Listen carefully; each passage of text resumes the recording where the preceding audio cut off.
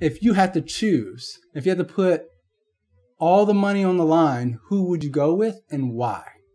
Man, for me, I think uh, I would have to, if I was a betting man, I would go Israel Adesanya with uh, by decision.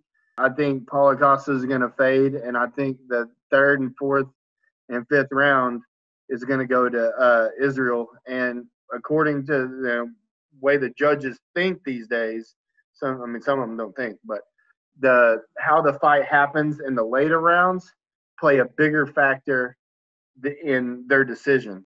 So some of the refs, I think, uh, judges judge it like a pride fight back in the day, where like if you got your butt kicked at the beginning of the fight, but then you were kicking his butt at the end of the fight, that plays a bigger factor.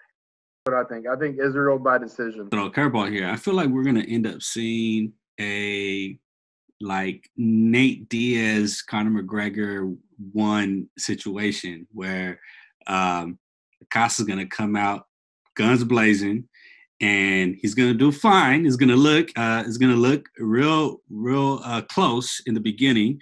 Adesanya is gonna somehow survive that. And then probably like in the third or even in the fourth, we're gonna see rear naked choke by uh by Adesanya going with Oh, that. you're a wrestler. Oh wow.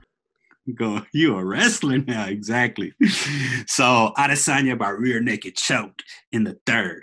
That's what I'm going with. Interesting, interesting. I don't think he's going to go to the judges' scorecards. I actually think the fight's going to stop, and I think he's going to stop either the third or fourth round. Um, but I would choose Adesanya with a counter punch. I think he's going to catch Costa um, with some jabs, and he's going to counter him going in, rushing in, and he's going to drop him. And I think he's going to win by ground and pound.